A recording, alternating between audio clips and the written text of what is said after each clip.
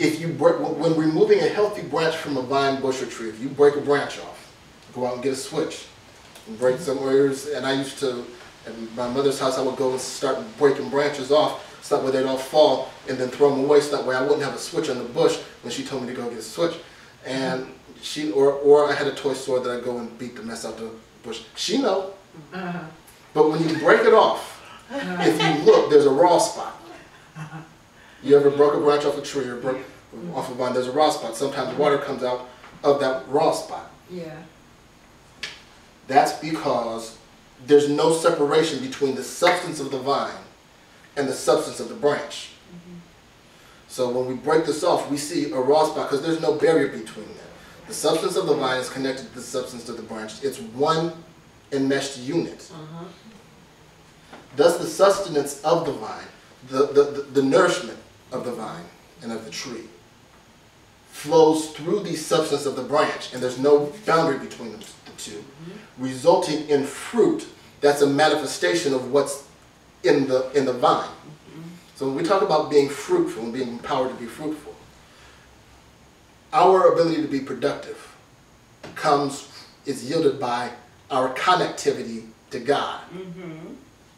It's not a matter of I don't let me not only does it not take effort on the part of the branch to bear fruit, the only the only thing required of a branch to bear fruit is that it remain connected to the vine. That's all. That's it. Mm-hmm. If I'm connected, I'm gonna bear fruit. If I'm not bearing fruit, there's a problem. In staying connected to the vine, the branch can draw from the sustenance of the vine, which is what is naturally designed to do. There is neither limitation nor restriction on what can be drawn from the vine, as there is no separation between the substance of the vine and the substance of the branch. I want you to get this, that, that, that there's, no, there's no separation, there's no differentiation when you're connected. The same stuff that's in the vine is what's in the branch. Mm-hmm. If you look, they look the same. If you put them under a microscope, you're going to see the same types of cells. Christ says, I'm the vine, everybody else are the branches. The connection, the, the, the degree of intimacy that we can have with God and the connection that we can have through Christ is analogous to the vine and the branches. And so whatever, whatever the branch needs, it can draw from the vine. Whatever the, but the only, the only things that the branch needs are the things that will allow it to produce fruit. Mm-hmm. Because that's what it's designed to do.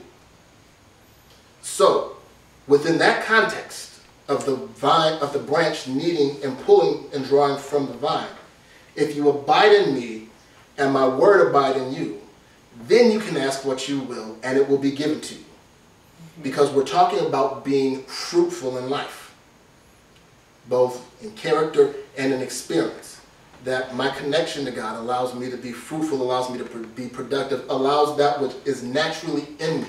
And there is something naturally in every single person that they can prosper, that they can flourish at, that they can enjoy, that they can that they can do with passion and excitement, that can be a blessing to somebody else. I, I, I'm, I'm, I'm out of time. I got.